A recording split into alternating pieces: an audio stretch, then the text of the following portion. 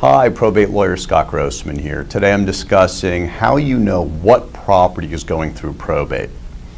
Probate is a process that you're going to have to do if somebody's died and you need their signature in order to transfer property from them to somebody else. What probate really does is it gets you a court order that substitutes for that person's signature. So easily the most common example of property that goes through probate would be a house. If your mom owned her own house and she held title in her own name, so for instance, if Joan Smith owned her house and Joan Smith passes away, Joan Smith isn't there to sign a deed to convey title to somebody else when the house is sold.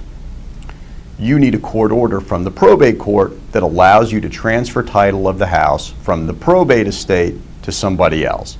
Now, of course, it's not just real estate that goes through probate other assets like bank accounts, brokerage accounts, in some cases even IRAs and retirement plans. There's really any kind of property at all that can go through probate. And here's how you know. If title is in the name of the person who died and only their name, and that property, whatever it may be, whether it's real estate or some kind of personal property, has some kind of title attached to it. So that means there's an account name, there's a deed, something like that, and you need the person's signature, it's going to go through probate.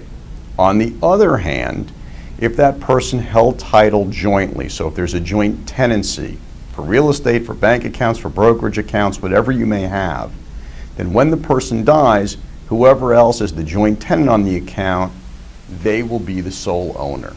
It's the same thing if there's a designated beneficiary. So if Joan Smith dies and she's filled out a designated beneficiary form with her bank, let's say, and that beneficiary form says that the savings account goes to my daughter and the checking account goes to my son because they're the designated beneficiaries of each of those accounts, then those accounts pass outside of probate.